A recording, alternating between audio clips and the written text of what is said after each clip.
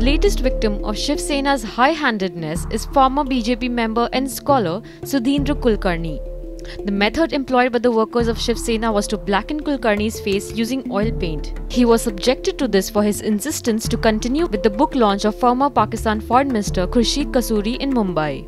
Despite the almost instantaneous condemnation that has followed, Shiv Sena isn't remorseful and said that this act is a very mild form of democratic protest. But where does this tradition of blackening the face come from? Now, according to the book Public Violence in Islamic Societies, the Quran calls the human face as the seat of honor. The human face undergoes disfigurement as he burns in the fires of hell for his sins on earth. So, punishment in Arab societies has always included blackening of the face as a form of public punishment to indicate disgrace, shame, and a loss of social rank.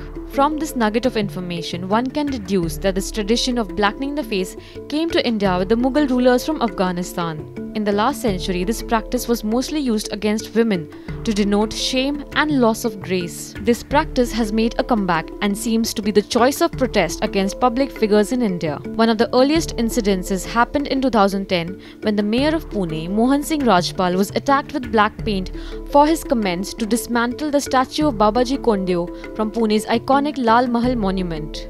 Black ink was also hurled at Yoga Guru Baba Ramdev in 2012 while he was lobbying the government to get black money back into India.